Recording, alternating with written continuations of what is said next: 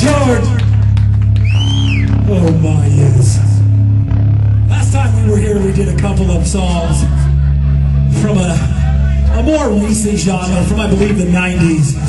Might even be 2000, I don't know. Anyway, we're gonna do a couple of those for you now. Thank you, Hawkeye. I just wonder what happened to that. Just for fun, we're gonna do a song uh, by a band called Seether.